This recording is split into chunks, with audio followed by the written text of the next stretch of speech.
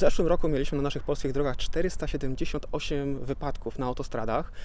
Na, podczas tych wypadków niestety zginęło 70 osób. Niestety ta liczba systematycznie z roku na rok rośnie. Przede wszystkim na autostradzie musimy zwrócić bardzo mocną uwagę na dystans, jaki mamy jadąc za innymi samochodami.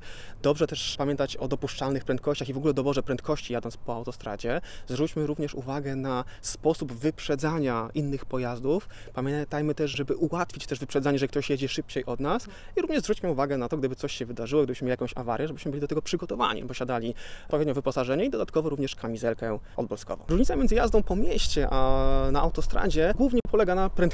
Są, tutaj jest najważniejszy ten aspekt związany z e, prędkością. Jeździmy znacznie szybciej po autostradach i dlatego tutaj musimy bardzo mocno zwrócić uwagę na dystanse. Jeżeli jeździmy zbyt blisko, przy dużych prędkościach, niestety konsekwencje zdarzeń wtedy są bardzo tragiczne. Jedźmy tak, żeby było dla nas bezpiecznie, żebyśmy czuli się komfortowo, no i gdyby coś nas zaskoczyło, to żebyśmy byli w stanie się po prostu zatrzymać. No ewentualnie, jeżeli mamy mniejsze doświadczenie w jeździe w autostradzie, nie czujemy się pewnie, to może warto też skorzystać po prostu z innej, innych dróg, e, e, gdzie te prędkości po prostu będą mniejsze, będziemy się pewniej czuć.